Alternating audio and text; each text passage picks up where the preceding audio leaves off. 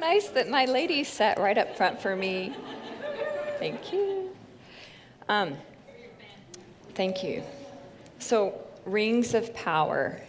Um, it was an Amazon Prime series that came out toward the end of the summer. It's a prequel to Lord of the Rings, It takes place about a thousand years before the Lord of the Rings. Um, our family would watch these episodes as they came out week by week for season one. Um, the screenwriters totally set up the episodes so that the viewers were kind of left in the dark about the identity of some key characters. In particular, there's um, one character who crashes into Middle Earth in this ball of flying fire, um, and he's just referred to as the stranger in every episode. And so we're trying to figure out who he is. And I felt kind of handicapped in my Lord of the Rings understanding because I haven't read the books and it's been many years since I've seen the movie. But I have a 17 year old son named Drew, and he is a Lord of the Rings expert. He's read the books multiple times. He's reading them again currently right now. He's seen the movies multiple times. Um, and so he was my crutch to help me answer all my questions about who this person is supposed to be. Anyway, um, each week we would talk about, in particular, who is the identity of the stranger. Um, and we just hope that by the end of season one, at least that part of the plot would be resolved before we had to wait a whole year for season two. Here's a picture of the stranger, by the way. Um, so the final episode comes, um, and it's coming to the end of it, and the still identified stranger says a sentence seven words long, and then the credits roll. And I'm like, I can't believe they left us hanging, and we're going to have to wait until season two. We don't know how long that's going to be um, to find out who the stranger is. And Drew's like, are you kidding? We know exactly who the stranger is. He just said blank, blank, blank, blank, blank, blank, blank. Okay, I'm putting in blanks here because I really don't want to give a spoiler for you who haven't finished the series or if you're ever going to watch the series. Sorry, we're just going to use blanks there. But I'm just going to say that those seven words, they're a dead giveaway um, to the identity of the stranger if you know Lord of the Rings better than I did. Okay, so now let's think about Matthew. So we've been reading chapter by chapter, and we've gotten to watch the disciples and the crowd as they've wrestled to try to figure out the true identity of this man, Jesus. So more and more hints are given to them along the way until they finally arrive at this jaw dropping moment where they say, at least some of them do, I know who this is. And guess what? That jaw dropping moment happens in tonight's text. We're going to come to a place where Jesus is going to say eight words that are a total identity giveaway, revealing that he is God. And if Jesus is God and not merely a wonderful teacher or a powerful prophet, then that changes everything. So here's the big idea for tonight. Those who've had the true identity of Jesus revealed to them will respond with faith and with following. So that's pretty much where we're headed as I try to navigate 67 verses with you. Yeah, we're not going to cover it all. So last week we finished up Sermon on the Mount, um, and we read how when Jesus finished teaching, the crowds were astonished at his teaching. And in their astonishment, they're left with this question of who is this man who teaches with such authority? And then, after a giant pause of action for three chapters, literally, we just felt like we've been sitting and listening and learning during Matthew 5, 6, and 7. Now, all of a sudden, Matthew chapters 8 and 9, it's making up for lost time. So now it feels like we're sort of running to catch up and watch all that Jesus does. Um, in Matthew 8 and 9, we see scene after scene of Jesus at work, demonstrating his comprehensive authority over both supernatural and natural forces. So he has authority over nature as he calls, calms a storm, authority over sickness and disease as he heals everyone who comes to him, and over spiritual forces, evil spiritual forces, as he heals people from demons. And each of these scenes provides yet another hint into the true identity of Jesus, but so far none are definitive. None act as a dead giveaway, revealing who he is. Because the thing is, we see some Old Testament prophets performing similar miraculous acts that we see Jesus do in Matthew 8 and 9. So we see leprosy healed um, in the ministries of both Moses and Elijah. Or is that Elisha? Put it right down. It's Elisha. Um, and then we see that Elijah will pray, and forces of nature are affected so that rain will stop or stop in response to his prayers. And then we see the dead brought back to life in the ministries of both Elijah and Elisha. But there's something remarkably different as we consider the miracles of the Old Testament prophets and compare them with the miracles of Jesus. So the prophets are described as asking God to move and work. So we see them praying for people to be healed, or praying for there to be rain or no rain, or praying for the dead to be raised. But what does Jesus say in the storm? Does he pray that it will stop? No. Here's what we read Jesus rebuked the wind and the sea, and there was a great calm. And then when he encounters two demon possessed men, does he pray for God to deliver him? No. In a single authoritative word, he says, Go, and the demons went. So we have hint after hint so far in Matthew, revealing Jesus' identity as being more than a wonderful teacher, more than a powerful prophet, until we come to the story of the paralytic in chapter 9. In this story, we're going to find more than just another hint about who Jesus is. And here we have a clear revealing where Jesus claims to be God. So I don't know if you've ever talked to someone um, and they tell you that they don't think that Jesus actually claimed to be God in Scripture, because you don't have Jesus saying, I am God, right? So if you remember one thing um, as you leave here tonight, I really hope that you can remember this story of the paralytic and how, in eight words that Jesus speaks, he is claiming that he is God. And getting into the boat, he crossed over and came to his own city. And behold, some people brought to him a paralytic lying on a bed. And when Jesus saw their faith, he said to the paralytic, Take heart, my son, your sins are forgiven. Eight words. Before we consider what those eight words reveal about Jesus, I just want to pause for a minute and think about what those eight words reveal about the paralytic. So, this was the day before wheelchairs. So if you couldn't walk, you would always be dependent on someone to take you, as in physically carry you anywhere you wanted to go. So in the paralytic's case, it took four friends to carry him around on a mat. So we get that detail in Mark chapter 2, where the same story is told. So back in those days, a broken bone that didn't set properly could be enough to render someone a lifelong cripple. So a couple of weeks ago, I received the following text from a dear friend of mine in Nashville. I took a screenshot of it.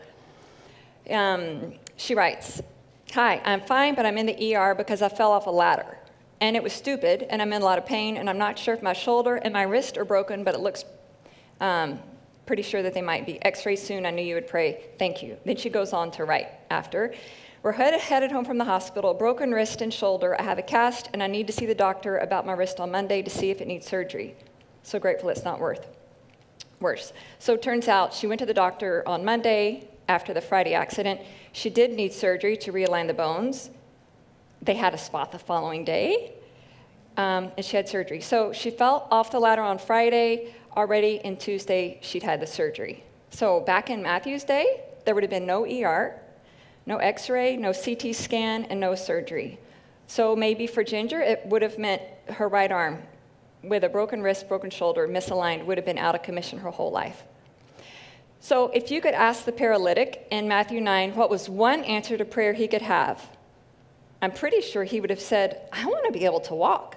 That was his most pressing, in your face kind of need that he had, or so he thought. When he finally gets to Jesus, what does Jesus say to him first? Is it, Take heart, my son, your paralysis is over? Nope. It's take heart, my son, your sins are forgiven. Turns out physical healing was not his most pressing need. Forgiveness from sins was his most pressing, desperate need. Paralysis had deformed him, and unless he was healed, he was going to be deformed his whole life. But sin had also deformed him, just as it deforms each of us. We are blinded and broken by sin, broken in our relationships with each other and with God, and it's sin that has more power um, to damage us than any injury ever could, because the effects of untreated sin will last forever. If not dealt with, sin will ultimately destroy us. So when we hear Jesus say to us, Take heart, my daughter, your sins are forgiven, we should be eternally sighing in relief that our most pressing, desperate need is finally and forever taken care of through the forgiveness won for us by Jesus' death on the cross. Okay, so let's unpause and scoot back to considering what those eight words reveal about Jesus. Take heart, my son, your sins are forgiven. So Jesus is claiming with these words to be God. So hang on here. What? He only said the guy's sins were forgiven. So that's what it sounds like to our 21st century ears. But just like I needed my resident Lord of the Rings expert to help me understand the significance of the stranger's seven words at the end of season one, um, we need to ask what those eight words of Jesus signify to the experts of Hebrew lore and of Old Testament scripture, and that would have been the scribes and the Pharisees. So to them, it sounded like blasphemy. To them, it sounded like Jesus was claiming to be God, and they were not happy. And behold, some of the scribes said to themselves, This man is blaspheming. But Jesus, knowing their thoughts, said, Why do you think evil in your hearts? For which is easier to say, Your sins are forgiven, or to say, Rise up and walk? But that you may know that the Son of Man has authority to forgive sins, he said to the paralytic, Rise, pick up your bed, and go home. So, what difference does it make in the lives of his followers whether Jesus is a wonderful teacher, like they believed him to be as the Sermon on the Mount wrapped up, or if he is the Son of God, very God of God? Well, if he is God, we should respond to him with faith and we should follow him. But not all faith and following are the same. So, faith can fall along a spectrum with great faith at one end and no faith at the other. That's my first spectrum up here. And we could plot following along a spectrum as well, with no following at one end and great following at the other. So that's where we're going to head now. We're going to look at first three kinds of faith no faith, little faith, great faith, as demonstrated in the passage. And we're actually going to start with great faith. There are a few examples of great faith that I could have chosen, but um, I just picked my favorite because I could. And behold, a woman who had suffered from a discharge of blood for 12 years came up behind him and touched the fringe of his garment for she said to herself, If only I touch his, his garment, I will be made well. Okay, ladies, can we think about her suffering for a minute? First of all, can you imagine having a period for 12 years straight? I shudder at the thought. So just think about the lack of energy from loss of iron and the unstable emotions. My family would suffer. um, Imagine the discouragement of 12 years of unanswered prayer for healing. And add to that, she lived back then before the days of commercial sanitary products. Am I the only one who wonders how women even managed back then? And then add to that the whole dimension of being ceremonially unclean because of her bleeding. So for 12 years, she would have been on the outside of community, excluded from temple worship. And then the Gospel of um, Mark chapter in chapter 8 adds a few more details to her situation. And there we learn that she had spent all of her money on doctors, and still she wasn't healed. So she's unwell, without money, and alone. She's utterly helpless. So I think that the reason this is my favorite example of great faith is because it demonstrates such a beautiful picture of someone coming to Jesus with absolute need and having absolutely nothing to offer him but her faith. What a picture of being poor in spirit. That first and foundational beatitude from Matthew chapter 5. In her poverty and desperation, she reaches out with empty hands in faith to Jesus. And what is the result? Jesus turned, and seeing her, he said, Take heart, daughter, your faith has made you well. And instantly, the woman was made well. I heard it said recently that it takes nothing to come to Jesus, but most of us don't have that. This woman came to Jesus with nothing. So when the Pharisees criticized Jesus for eating with the tax collectors and sinners in tonight's passage, do you remember what he told them? He said that he'd come not to call the righteous, but sinners to himself. The Pharisees did not come to Jesus with nothing. Their hands were full of their meticulous law keeping. And they're striving to keep the letter of the law with cold hearts um, and empty hearts. It was a tiresome burden. And yet, that was what they clung to deep down for worth before God and others. If they were to empty their hands and let go of their record of self righteous law following, then they would have had nothing. Then they would be on level ground with the hemorrhaging woman, on level ground with the tax collectors and sinners. And then they would have been ready to receive from Jesus. But that was just too low for them to go. So, what about you? As you come to Jesus, can you honestly sing, Nothing in my hands I bring, simply to the cross I cling? Or are your hands full as you come to Jesus so that you don't come with nothing?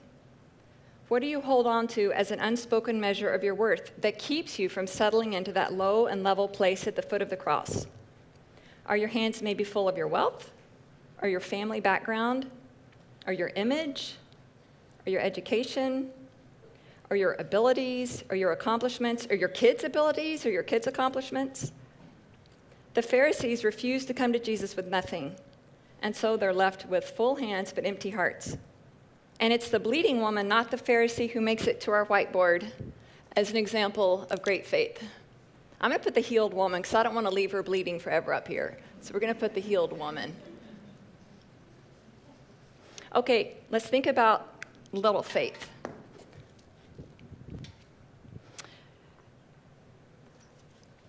And when he got into the boat, his disciples followed him. And behold, there arose a great storm on the sea, so that the boat was being swamped by the waves but he was asleep. And they went and woke him, saying, Save us, Lord, we're perishing. And he said to them, Why are you afraid, O you of little faith?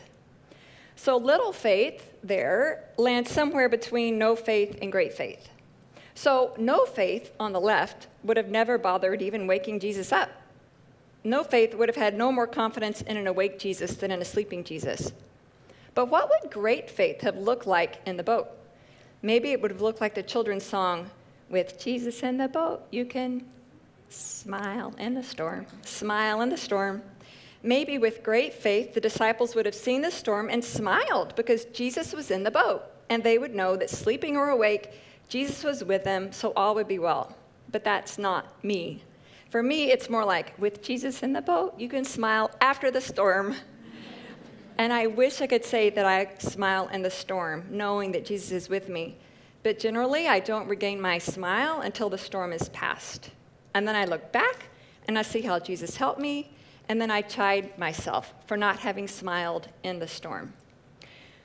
Part of the trouble with little faith is that it just fails to honor Jesus. So as my kids see me trust God, but worry at the same time, what does that tell them about how trustworthy God really is?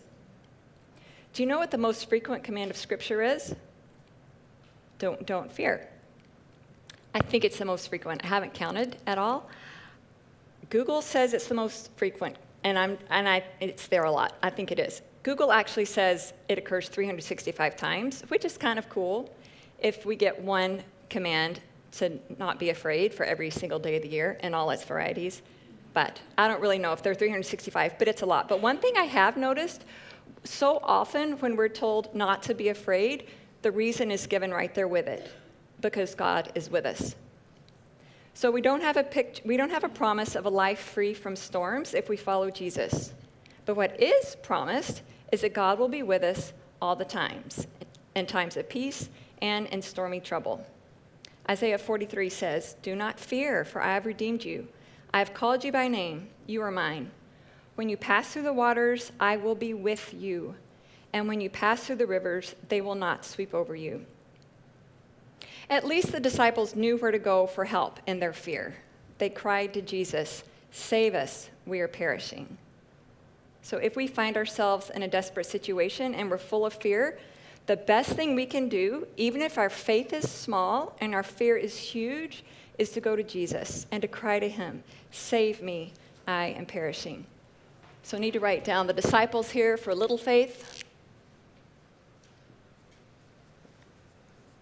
And then we're going to look at no faith.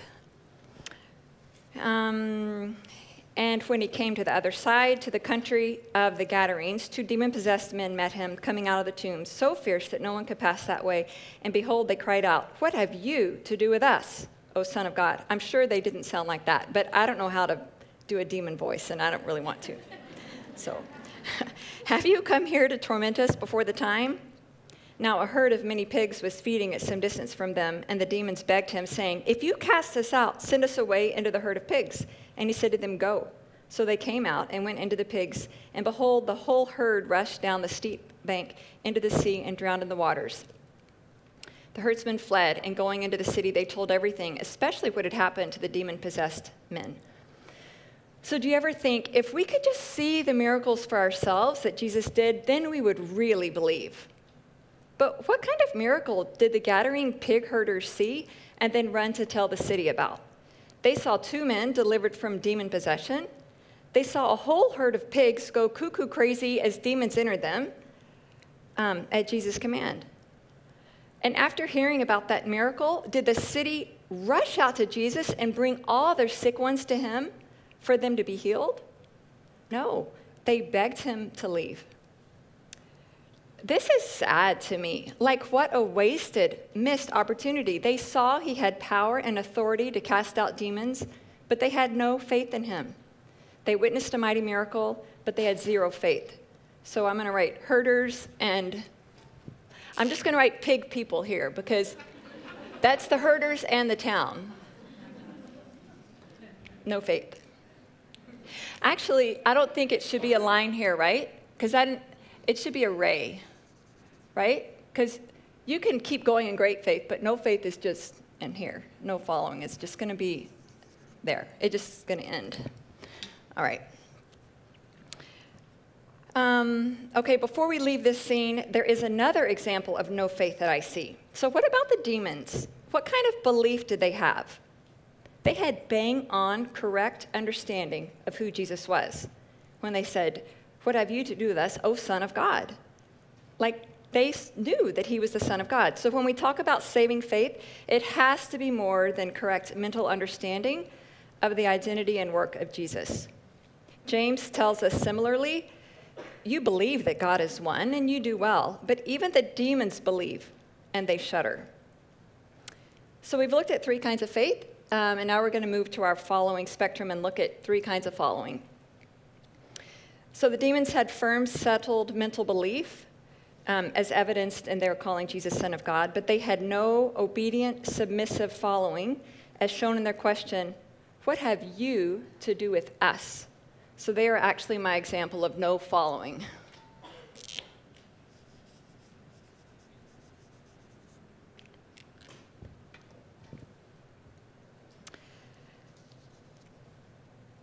So, yeah, their question was, What have you to do with us?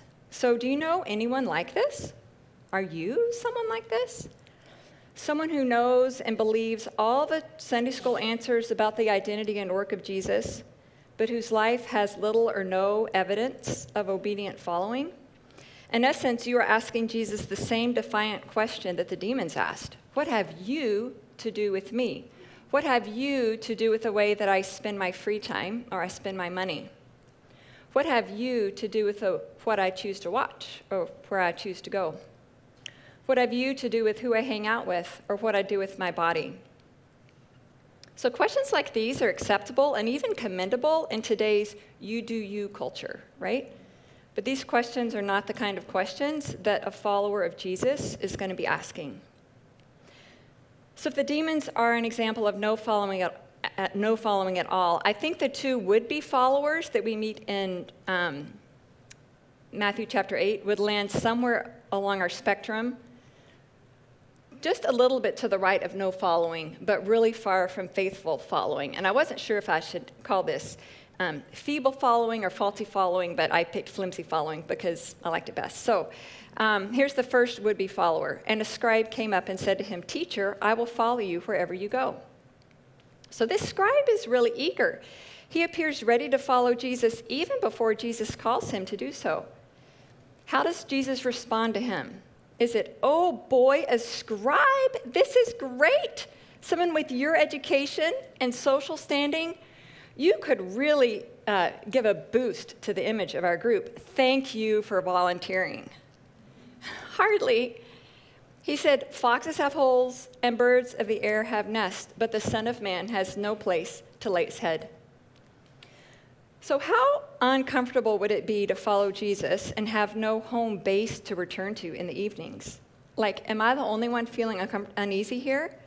I'm all for serving Jesus as long as I can have a comfy home and a bed to return to at the end of the day. Here's a confession about me I'm a homebody introvert who's happy as a clam not going out. Seriously, even coming out to church on a Monday night can be uncomfortable for me even tonight, as I pulled out of the driveway, like to come to church, I'm already picturing myself back in my happy place at home in the flannel sheets, two pillows, one for my head, one for my knees, all snuggled up. Ready? Like, yeah. So that's the first would be follower. Flimsy faith because he loved his comfort. So, how about the second would be follower? Another disciple said to him, Lord, let me first go and bury my father. And Jesus said to him, Follow me, and let, leave the dead to bury their own dead. So, whereas the first guy was a little too quick in his following, this second guy is too slow in his following. So, what's going on here? What's wrong with waiting a few days um, for the sake of burying a parent who just died? But based on some commentary reading I did, this isn't what's going on. To bury a father is an idiom that just means to fulfill your family responsibilities throughout a parent's lifetime. And it's possible that this guy was hanging around waiting for his parents to die, not just to care for them, but to make sure that the inheritance got settled properly when the time came. So, this would be disciple doesn't flat out say no to Jesus' invitation to follow. Instead, he says, Hang on, could you wait for a more convenient season of life for me to follow? So, I just want to encourage each of you here don't wait for a more convenient season of life to follow Jesus. So maybe some of you students are thinking, oh, once you graduate, that'll be a better time to fully follow Jesus. Or maybe some of you with young kids at home think it would be more convenient to follow when those kids start school, or when they finally move out of the house, or when you retire. So I'm not sure that there's ever a convenient season to follow Jesus. So can I just encourage all of us to seek to follow him today, regardless of our particular life circumstance or season? Don't wait to follow Jesus by walking in sexual purity until a more convenient season when you're finally married. Don't wait to follow Jesus by forgiving that person who offended you until a more convenient season when they finally acknowledge how much they've hurt you. Don't wait to tithe to the church until a more convenient season when you finally have that dream job that you've been hoping for. Follow Jesus in the inconvenience of today. Okay, I've got to write down these would be followers for our flimsy followers.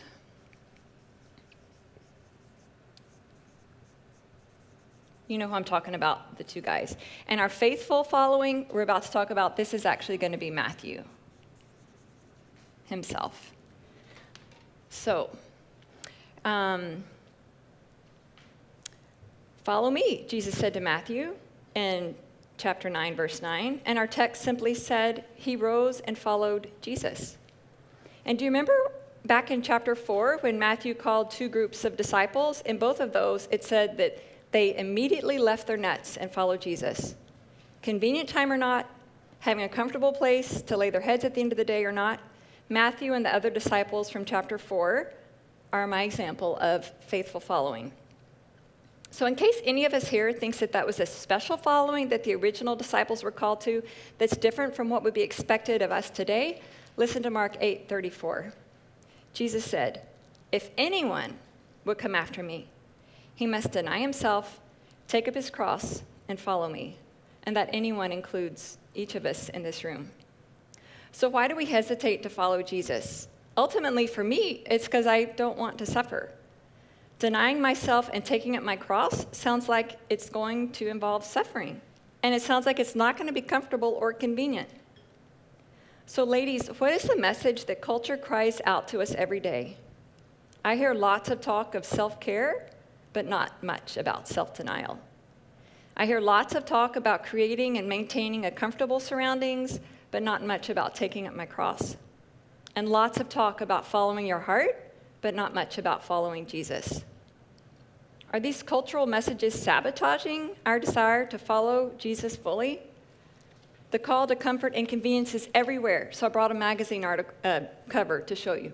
So, just in this cover, the title says, Real Simple, Life Made Easier. Sounds pretty convenient, right? Welcome to Cozy. Sounds comfortable. Delicious dinners faster. That's comfortable in a convenient way, right? And then my favorite is easy ways to feel calm, convenient ways to be comfortable. Yeah. so there's nothing wrong with enjoying um, a comfortable place to live that God has provided, unless my desire for that is so strong that I would be unwilling to leave it if Jesus called me into the inconvenient and uncomfortable elsewhere. Have you ever made a decision where you felt like you were following God's lead and then things went sideways and you ended up in a place of suffering? Sometimes we think when that happens that maybe we didn't hear God correctly and we misfollowed because surely if we were following, we wouldn't be in this messy, uncomfortable place. But did you notice how it was that the disciples got into the boat in the first place that led them into the storm? They followed Jesus there. I hope you know the story of Corrie ten Boom.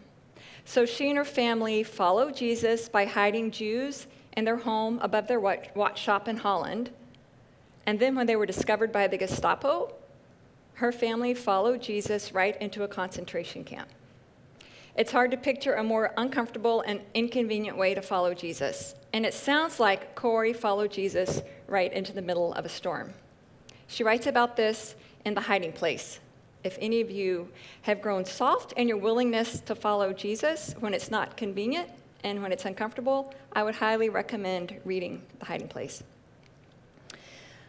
Sometimes I get asked if I would return, um, if I would like to return to our village in Cameroon, West Africa. We lived there as a family um, for almost 10 years, working on a Bible translation project for a Muslim people group. I have a great excuse for not returning.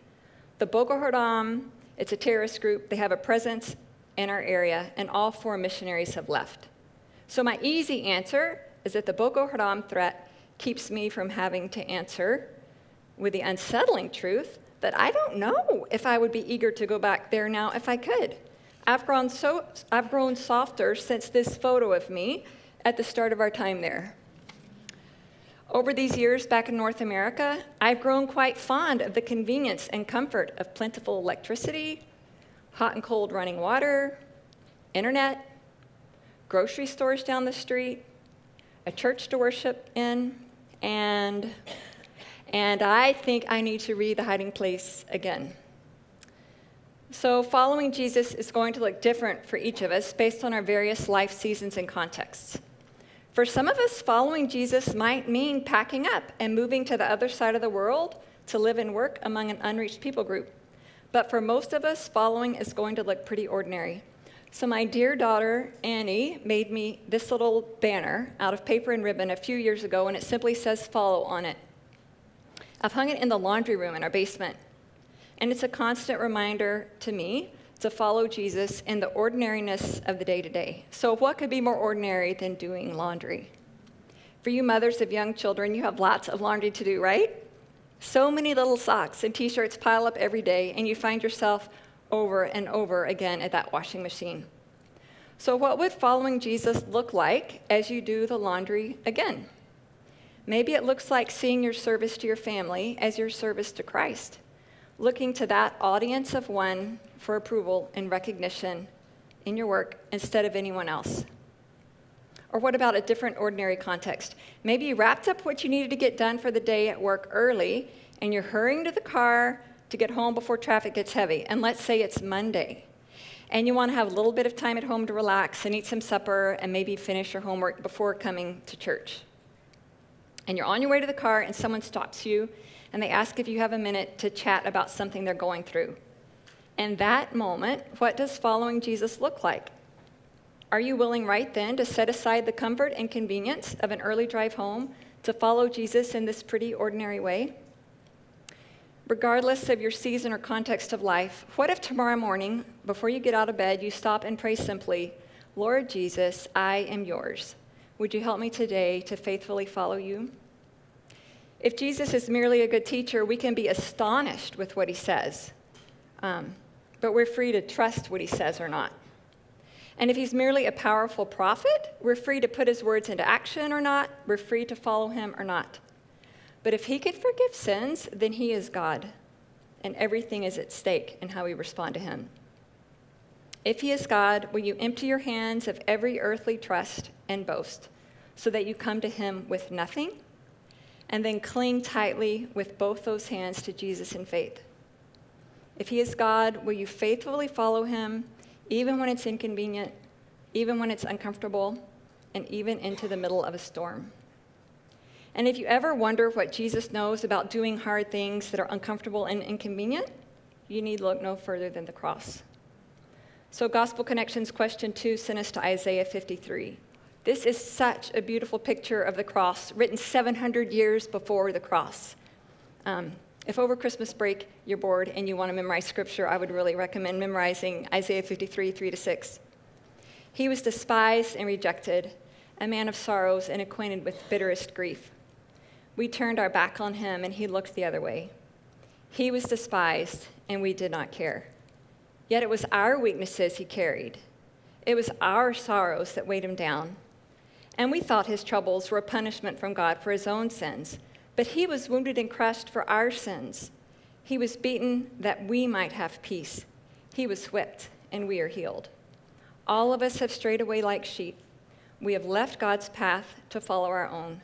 Yet, the Lord has laid on him the guilt and sins of us all.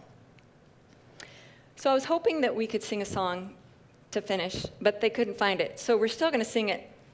Trouble is, it's going to be a cappella. So we're just going to sing the part of the song I was really interested in. So please, if you know the song, help me and sing. Um, so the song is I Will Follow.